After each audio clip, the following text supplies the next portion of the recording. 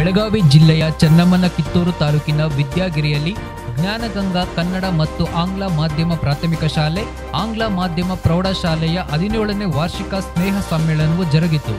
ಸಮ್ಮೇಳನಕ್ಕೆ ಮುಖ್ಯ ಅತಿಥಿಗಳಾಗಿ ಶ್ರೀ ಮಡಿವಾಳ ರಾಜಯೋಗೇಂದ್ರ ಸ್ವಾಮೀಜಿಯವರು ಆಗಮಿಸಿ ದೀಪ ಬೆಳಗಿಸುವ ಮೂಲಕ ಕಾರ್ಯಕ್ರಮಕ್ಕೆ ಚಾಲನೆ ನೀಡಿದರು. ಕಾರ್ಯಕ್ರಮವನ್ನು ಉದ್ದೇಶಿಸಿ ಮಾತನಾಡಿದ ಅವರು, ಜ್ಞಾನಗಂಗಾ ಶಿಕ್ಷಣ ಸಂಸ್ಥೆ ತನ್ನದೇ ಆದ ಸೇವೆ ಮಾಡುವುದರ ಮುಖಾಂತರ ಕಳೆದ ಹದಿನೇಳು ವರ್ಷದಿಂದ ಒಳ್ಳೆಯ ಗುಣಮಟ್ಟದ ಶಿಕ್ಷಣ ನೀಡುತ್ತಾ ಬಂದಿದೆ ಎಂದು ಹೇಳಿದರು. ಕಾರ್ಯಕ್ರಮದಲ್ಲಿ ಮಕ್ಕಳು ನೃತ್ಯ ಮಾಡಿದ್ದು ಆಕರ್ಷಣೀಯವಾಗಿತ್ತು. ವರದಿಗರ ಜಗದೀಶ್ ಕಡೋಳಿ ಎ ಟಿವಿ ಚನ್ನಮ್ಮನ ಕಿತ್ತೂರು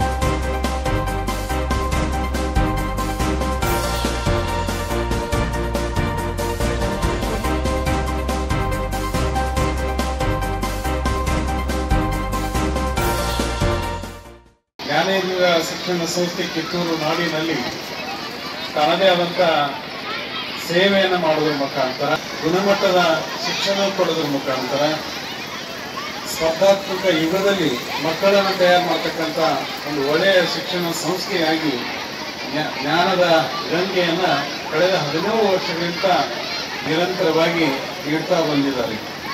ಬಹುಶಃ ಇಲ್ಲಿ ಕಲ್ತಿರ್ತಕ್ಕಂಥ ಅನೇಕ ವಿದ್ಯಾರ್ಥಿಗಳು ಬೇರೆ ಬೇರೆ ಶಿಕ್ಷಣ ಸಂಸ್ಥೆಯಲ್ಲಿ ಹೆಚ್ಚಿನ ವಿದ್ಯಾಭ್ಯಾಸ ಮಾಡೋದ್ರ ಜೊತೆಗೆ ಅನೇಕ ವಿದ್ಯಾರ್ಥಿಗಳು ಸೇವೆಯನ್ನು ಮಾಡ್ತಾ ಇರೋದನ್ನು ನಾವು ನೋಡ್ತಾ ಇದ್ದೀವಿ. ಬಹುಶಃ ಈ ಶಿಕ್ಷಣ ಸಂಸ್ಥೆ ಮಕ್ಕಳು ಪ್ರತಿಯೊಂದು ಹಂತ ಕ್ರೀಡೆ ಇರ್ಬೋದು. ಭಾಷಣ ಸಂಸ್ಥೆಯ ಕೀರ್ತಿಯನ್ನು ಹೆಚ್ಚಿಸ್ತಕ್ಕಂಥ ಕೆಲಸವನ್ನು ಮಾಡ್ತಾ ಇದ್ದಾರೆ.